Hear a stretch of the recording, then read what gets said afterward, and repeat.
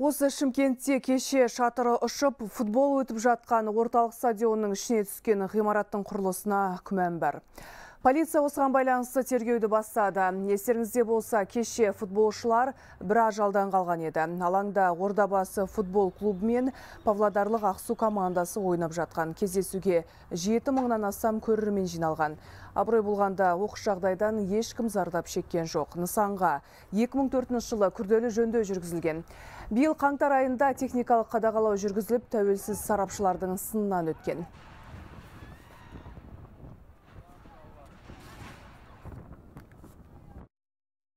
Бұл ойынның алдында да ондай акт жасалған.